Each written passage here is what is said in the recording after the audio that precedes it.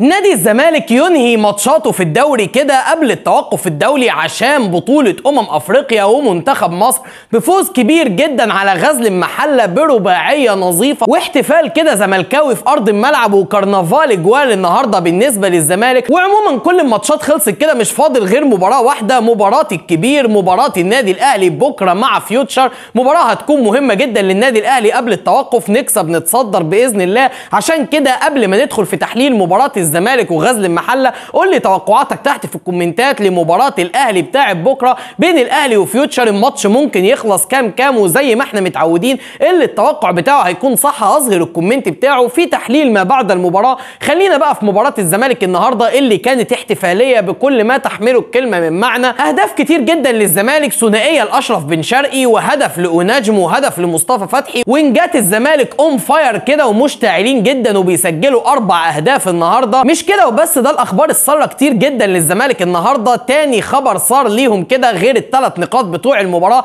إن شيكابالا خلاص عقوبته بتنتهي. بعد إيقافه 8 ماتشات على التوالي كده خلاص خلص الإيقاف بتاعه. 8 ماتش كان النهارده. شيكابالا بعد التوقف الدولي بتاع منتخب مصر هيكون جاهز مع نادي الزمالك ويقدر يشارك. وتالت حاجة كمان إن نادي الزمالك بعد الفوز بتاع النهارده ده بقى على صداره جدول الترتيب كده وهنتكلم عن جدول الترتيب بالتفاصيل. لكن قبل أي حاجة انزل دلوقتي اخبط like للفيديو. عايزين الحلقة توصل لايكاتها لعدد كبير وتوصل لكل الناس كده وال share على قد ما تقدر. لو لسه ما اشتركتش في القناة اعمل اشتراك دلوقتي وشغل الجرس عشان اليومين الجايين في حلقات قوية جدا. بكرة طبعا هتبقى حلقة تحليل مباراة الأهلي وفيوتشر بعد الماتش على طول كده زي ما إحنا متعودين. وبعد بكرة هتكون حلقة مهمة جدا عن قرعه دوري أبطال أفريقيا. النادي الأهلي موجود والزمالك موجود وهل ممكن يقعوا الاثنين مع بعض في مجموعة واحدة كده وتكون مجموعة نارية ولا هيكونوا بعيد عن بعض وهنقول كل التفاصيل بتاعة القرعة فعشان كده اعمل اشتراك على القناة ولو انت مشترك أصلا شغل الجرس كده عشان تجيلك اشعارات بالحلقات اول ما تنزل. يلا بينا. الكور العالية روكسون يا شاط الجول يا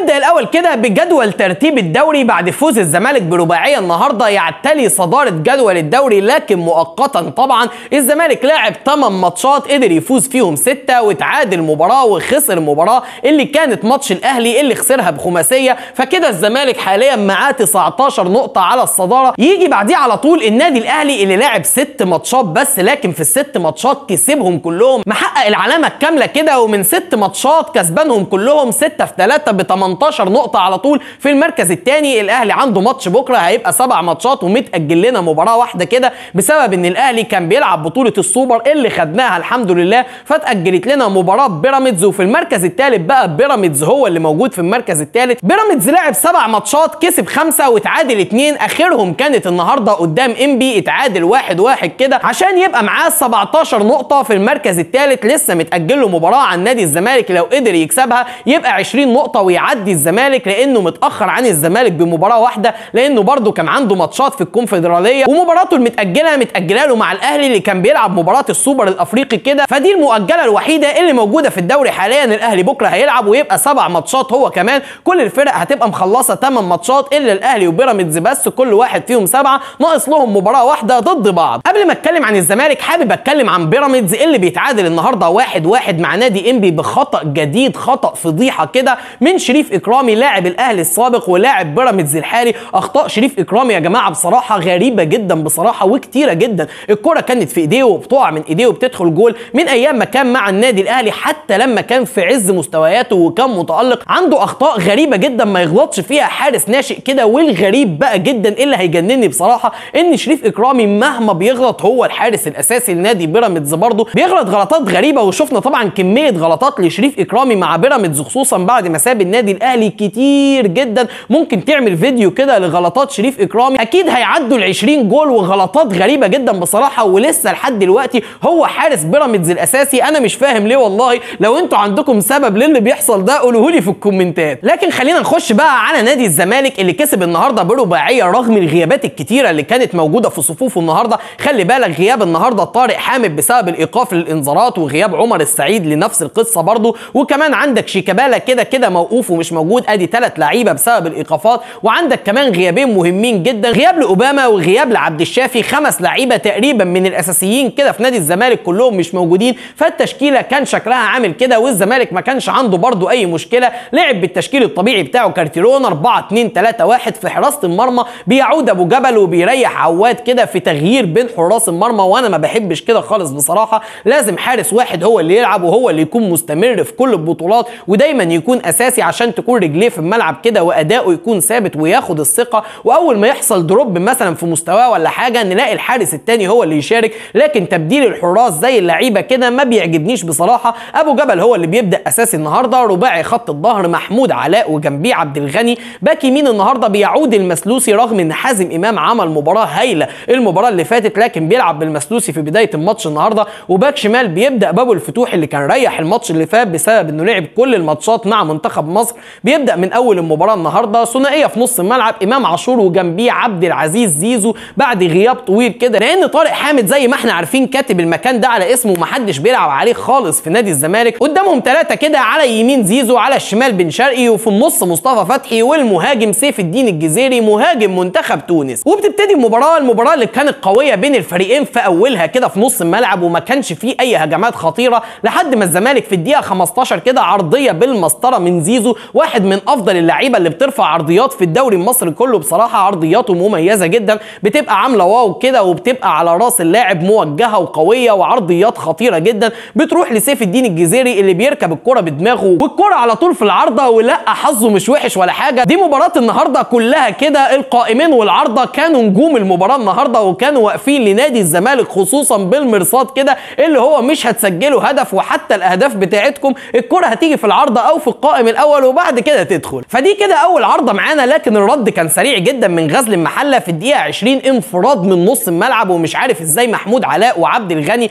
كانوا فاتحين جدا كده وسايبين العمق بينهم فاضي خالص. بيتعمل سرومه بينهم وانفراد من نص الملعب حرفيا للاعب غزل المحلة اللي راح انفراد بابو جبل لكن اتصرف فيها بطريقة سيئة جنحها على الجنب وحاول يشوط قفلها أبو جبل بامتياز طبعا. ونقذ مرمى الزمالك من انفراد كان ممكن يكون هدف أول ويتغير خالص سير المباراة. بعد كده هجوم مستمر من نادي الزمالك ونادي غزل المحله العشر لعيبة كلهم تحت الكورة بيستقبلوا اللعب وبيلعبوا على الهجمات المرتدة. بس في الدقيقة 31 تسديدة من إمام عاشور اللي تسديداته قوية جدا بيحاول يعدل الكرة على اليمين بتتقفل عليه فبيعدلها على الشمال وبيشوط بشماله. ما عندوش أي مشكلة الشوط بيمينه زي بشماله ورجليه الاثنين موجهين على المرمى كويس جدا. بيشوط الكرة بتيجي في العارضة برده وعدي معايا كده تاني عارضة لنادي الزمالك وكانت فرصة خطيرة جدا ممكن تكون جول. لكن بعديها بخمس دقائق على طول هجمة قوية جدا برده من نادي الزمالك وعرضية بيلعبها محمود علاء بدماغه. بتيجي الكرة في العارضة برده لكن في الارتداد بقى لقت مصطفى فتحي اللي تواجده جوه منطقة الجزاء بيكون هايل جدا بياخد مكان كويس جدا وبياخد دايما ال second ball كده وبيحط الكرة ويسجل الهدف الأول لنادي الزمالك. وجود مصطفى فتحي في نص الملعب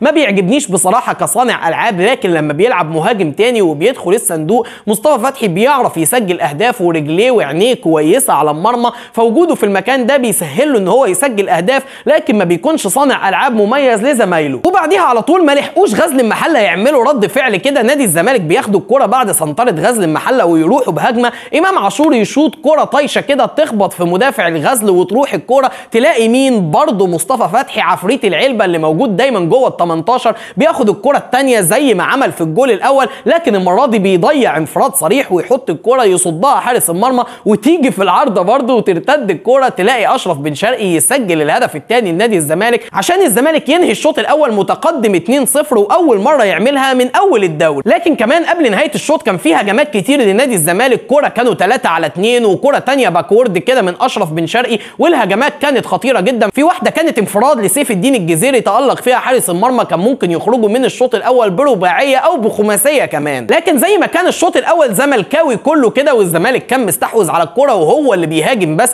وقدر يسجل هدفين. الشوط الثاني بيبدأ عكس بداية الشوط الأولاني تماما. غزل المحلة هو اللي بيهاجم هو اللي ماسك الكرة هو اللي مسيطر على الملعب كله. وزانق الزمالك كده في نص أرضه والزمالك بقى هو اللي بيلعب على ال counter attack. لكن سبحان الله الزمالك لما لعب ماتش استحواذ والغزل لعب على ال counter attack الزمالك سجل هدفين. لما حصل العكس وغزل المحلة هو اللي لعب استحواذ والزمالك لعب counter attack برضه الزمالك هو اللي بيسجل هدفين. فاعليه لعيبة الزمالك على المرمى كانت أكبر بكتير. لكن مع بداية الشوط الثاني كده في هجوم غزل المحلة في الدقيقة 55 ياسين فوافي بيشوط صاروخ كده لكن في العارضة العارضة برضه بتشيل هدف لغزل المحلة زي ما شالت كتير من الزمالك. بعديها على طول تغييرات بقى لنادي الزمالك ثلاث تغييرات دفعة واحدة كده. بيخرج سيف الدين الجزيري بينزل مكانه سيسي عشان يلعب مهاجم صريح في مركز جديد عليه النهارده. وبيخرج كمان الثنائي زيزو وبينزل مكانهم رؤى في نص الملعب ونجم مكان زيزو قدام. ونجم اللي بقى التغيير المثالي لنادي الزمالك النهارده اللي دايما بينزل يقلب المباراة بيسجل على طول هو الهدف الثالث جول في الدقيقة 71 عجبني جدا بصراحة. كان جاي من ناحية يمين وبيبص كده وعايز يرفع ما لقاش حد فاضي. راح مرقص على طول وعادل الكرة على شماله وراح حاططها. الكرة بتيجي في العارضة برده وبعد كده بتنزل في الجول عشان يبقى الزمالك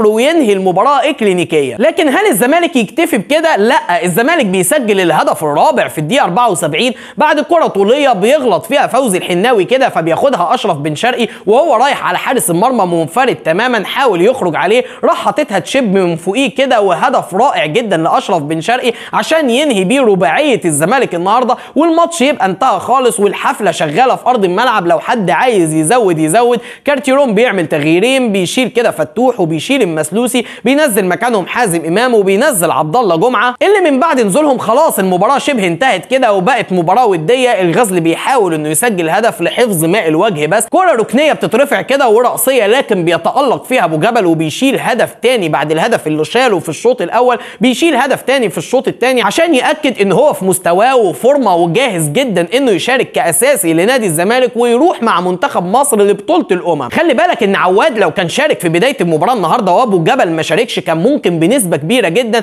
أبو جبل يستبعد من أمم أفريقيا وهو لحد دلوقتي ممكن يستبعد. الله أعلم كيروش هيعمل إيه. كيروش ده مجننا معاه ومش فاهمين له حاجة. لكن أبو جبل بيلعب النهارده عشان تبقى رجليه في الملعب كده إنه ممكن يتاخد ويروح أمم أفريقيا حتى لو مش هيشارك. والشناوي أكيد هيكون هو الأساسي لكن تواجدك مع منتخب مصر في أمم أفريقيا أكيد شرف كبير ليك. خلينا ندخل بقى كده على تقييم لعيبه نادي الزمالك. هنبدأ الأول بحراسة المرمى أبو جبل 9 من 10 النهارده. من وجهة نظري عمل مباراة محترمة جدا وصد كورتين كان ممكن الاثنين يكونوا جوال عادي جدا. تخش بقى على الرباعي اللي كان قدامهم حمزة المسلوسي كالعادة مش عارف بيلعب ليه بصراحة. حازم إمام أفضل منه بكتير حمزة النهارده 4 من 10 عمل مباراة متوسطة أو سيئة كمان. أبو الفتوح النهارده 5 من 10 كنت حاسس إنه بيلعب على واقف كده وما عملش مجهود كبير. أبو الفتوح عنده أفضل من كده بكتير. ثنائية الدفاع محمود علاء عمل ماتش كويس جدا النهارده 7 من 10 جنبيه عبد الغني 6 من 10 ثنائية نص الملعب عبد العزيز زيزو أسوأ لاعب في الزمالك النهارده صفر. عمل كمية مس باص رهيبة. عيد الشوط الأول كده والشويه اللي لعبهم في الشوط الثاني ويشوف عبد العزيز زيزو عمل كمية مس باص عاملة إزاي. جنبيه إمام عاشور عمل مباراة ممتازة 8 من 10 قدامهم ثلاثة أحمد السيد زيزو أفضل لاعب في الدوري المصري بيعمل عرضيات حاليا ممتازة جدا. زيزو النهارده 8 من 10 أشرف بن شرقي أفضل لاعب المباراة 10 من 10 سجل هدفين وعمل مباراة ممتازة جدا. ومصطفى فتحي النهارده 8 من 10 الثلاثي اللي تحت المهاجم عند نادي الزمالك. كانوا ممتازين جدا النهارده. وراس الحربه سيف الدين الجزيري 6 من 10 عمل مباراة كويسة برضه. وبالنسبة للبدلاء اللي نزلوا ونجم طبعا كان مميز جدا وقدر إنه يسجل هدف لكن نزل وقت قليل كده وده تقييم اللعيبة من وجهة نظري. قول لي من وجهة نظرك انت مين اللي كان الأفضل النهارده ومين اللي كان الأسوأ؟ من وجهة نظري أشرف بن شرقي كان هو الأفضل والأسوأ كان عبد العزيز زيزو. مستني كومنتاتكم كلها بالأفضل والأسوأ وما تنساش تقول لي توقعك لنتيجة مباراة بكرة بين النادي الأهلي وبين فيوتشر. الماتش ممكن يخلص كام كام وزي ما إحنا متعودين. اللي التوقع بتاعه هيكون صح هظهر ال comment بتاعه في تحليل ما بعد المباراة. وما تنساش كمان تخبط like للفيديو ال share على قد ما تقدر. عايزين الحلقة توصل لكل الناس كده ولو لسه ما اشتركتش في القناة اعمل اشتراكك دلوقتي وشغل الجرس عشان تجيلك كل الحلقات اللي هعملها بعد كده. سلام.